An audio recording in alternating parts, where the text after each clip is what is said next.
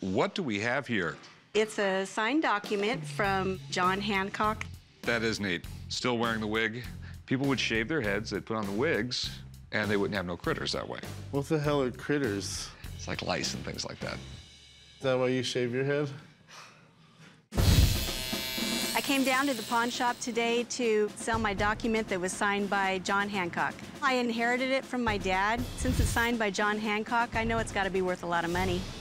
It says, His Excellency John Hancock, Esquire. He was the governor of Massachusetts. And it says, Abel Boynton is being commissioned as a captain in the uh, militia.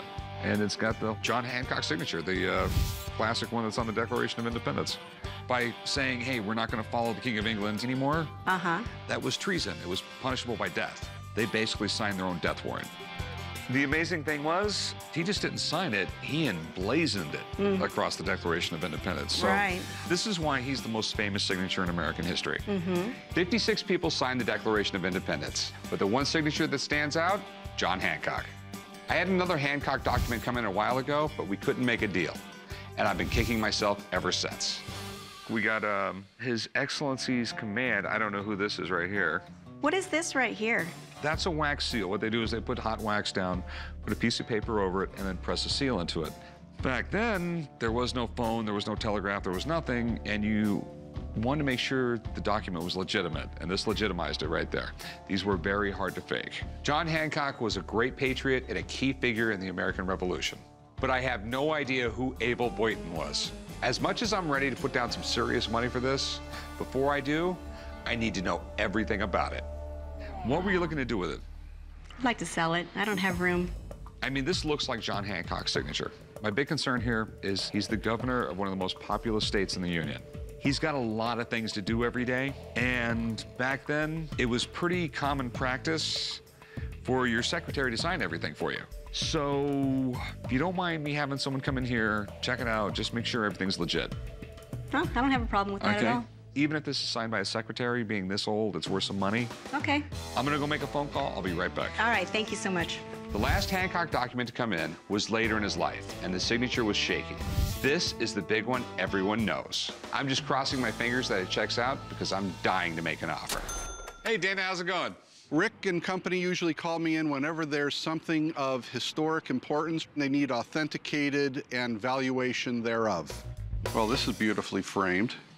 So, Rick, what are your concerns about this particular document? My big concern is I want to make sure this is John Hancock's signature, and also, I don't think this is anybody right here, but I don't know enough about this thing. Okay, so let's take a little closer look. It's dated the 17th day of September, 1787. This is John Avery, secretary. That's what that says. And so he is endorsing this entire document. It's filled in to an Abel Boynton. Wow. This document is more important than perhaps you have any idea. Really? April 19th, 1775. You've heard of the Battle of Lexington and Concord. All the Minutemen from the surrounding countryside, including Abel Boynton, came under fire from the British and fought to defend America. And the day the shot heard around the world was heard, he was there that day, starting off the Revolutionary War. That's really exciting. This is a great document, giving him a captain's commission later on, probably for his earlier services during the Revolutionary War. Mm-hmm. Really cool. Well, even though the document is framed, uh, I could tell that the ink from the signature of John Hancock is laying on top of the paper. And so it's not, you know, something that's printed.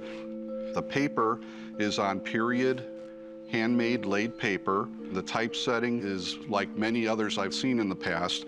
So after looking at this and examining all those aspects, I would say that this document is absolutely authentic and real. Really? Yeah. Cool. All right. Yeah. All right. So, what do you think it's worth? This signature of John Avery as secretary, John Hancock authenticating it, made out to Abel Boynton, I think it's worth easily ten to fifteen thousand dollars. Wow. Man, you hit the jackpot. When I found out that it could be worth up to $15,000, I, I couldn't believe it. I had no idea I was holding on to something that could be worth that much money. So how much you want for it? I want 8000 for it. It's obviously worth it after what your expert said. It's worth a lot of money.